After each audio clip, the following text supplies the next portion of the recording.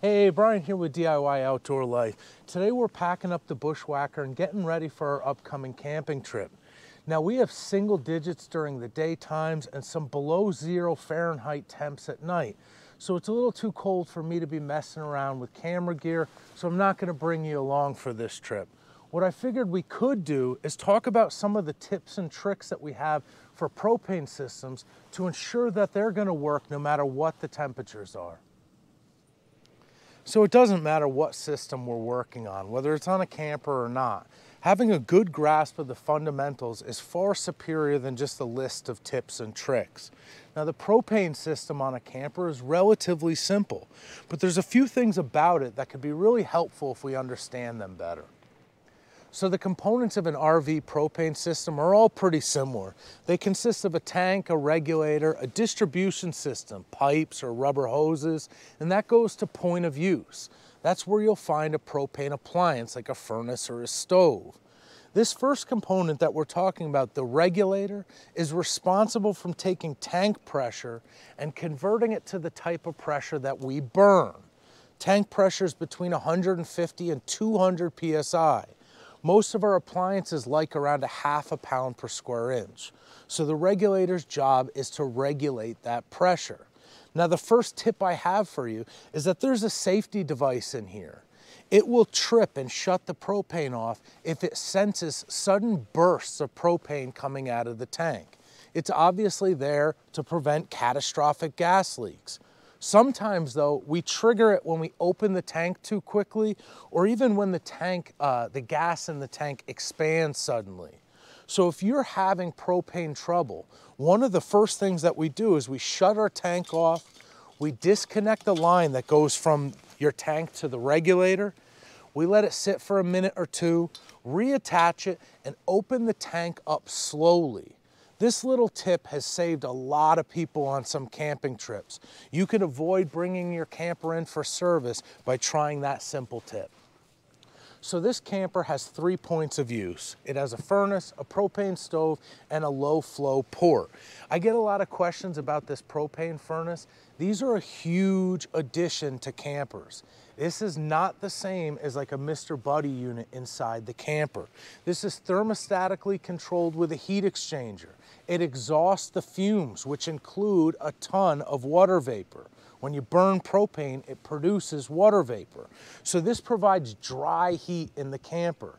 Those ventless heaters, you have to provide your own ventilation inside the camper. Otherwise, your windows freeze and the water comes down. This is an excellent addition to a camper.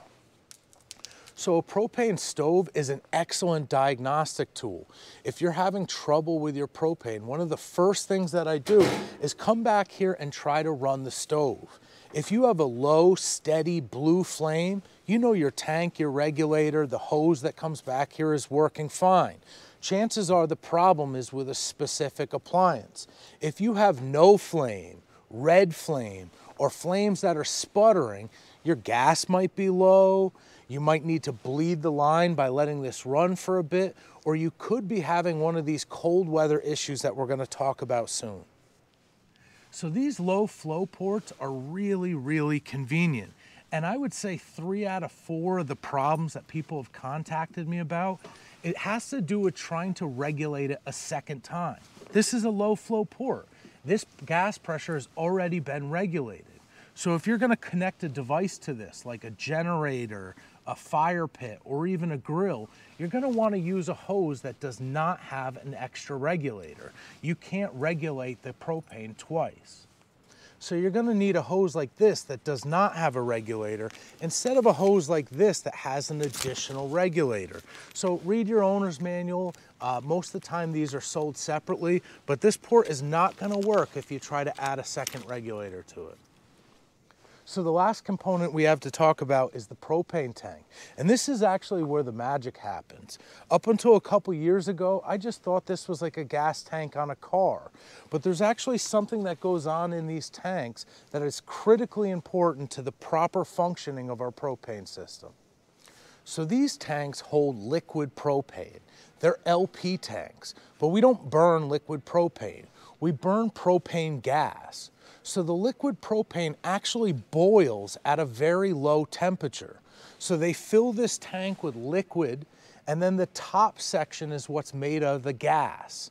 Now when we remove that gas to burn, it lowers the pressure in the tank and the propane boils again and replenishes the gas supply. So this functioning will take place until there's no more liquid to boil off. There's nothing to vaporize and then your tank pressure goes down and you have to have it refilled.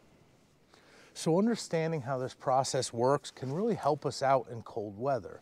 See, the colder air temperatures will lower the pressure inside the tank. It also slows down the boiling process. So the problem that most people have is they're running a furnace or something big, like a fire pit, and they exhaust the reservoir of gas at the top of the tank.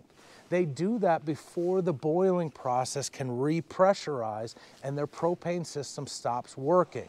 You'll hear people refer to this as a frozen tank, but propane doesn't freeze until it's like negative 44 degrees Fahrenheit. What they're actually experiencing is a slowed down rebounding, and there's a lot we can do to address that. The first thing that you can do is switch to a bigger propane tank. A lot of teardrops have five pound, 11 pound tanks. Mine came with a 20 pound tank. I will go to a 30 pound tank for a cold weather trip. It's not because I'm gonna burn this much propane. I won't use anywhere near the capacity of this tank.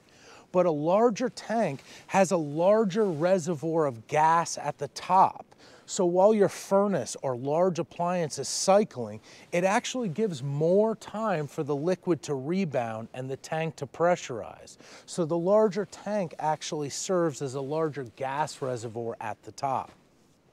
Another tip that can help us out is showing up to our cold weather trip with a higher fill rate on the tank. You can have these topped off at Trading's Post or Tractor Supply. You don't have to swap the whole tank out. But when a tank is a little low level, it's got to do more vaporizing to pressurize the larger volume. That's going to slow the cycle down. So when we show up with a high fill rate, it's going to have a faster cycle speed and the overall tank pressure will be a little higher as well. Now this upgrade is usually really simple. The 30 pound tank has the same diameter as the 20 pound tank. It's just a little bit taller, so it drops right in this holster. If you follow those two principles of the larger tank and the higher state of fill, this is gonna take care of 95% of your cold weather issues. They do sell a tank heater.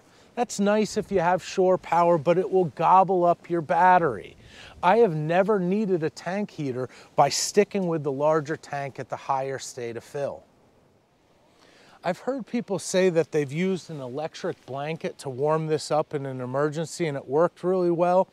I prefer to bring an extra tank. I store it in my tow vehicle.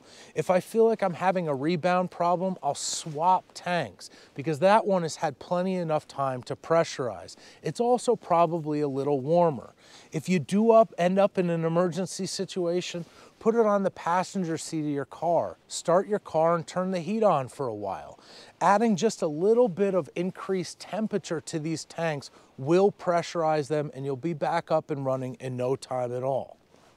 So I want you to be able to know the exact amount of propane that's in your tank. But these gauges are no good. These cheap gauges are pressure gauges. And we already talked about how the tank pressure is gonna try to get to the same point, whether there's 20% liquid propane or 80% liquid propane. That's how the tank works. So these are never accurate. And they move more with the air temperature than they actually do the fill level of your tank. Some people get confused because we've always been able to trust these gauges that are on our tanks at home. But this sort of propane gauge is mechanical. There's an actual float inside the tank. It's a completely different setup than these. So in my closing scene, I'll point to the video where I explain the system that I use. I love it. Otherwise, we're gonna have to work on weighing the propane tanks. So I hope you guys found these tips helpful. Please include your cold weather tips in the comment section below. We can all learn a lot when we share our tips and tricks. I'm gonna include some playlists of other hacks that I do with the camper, but I'm gonna include a video I did on the Mopeka propane sensor. Don't trust those pressure sensors, they do not work.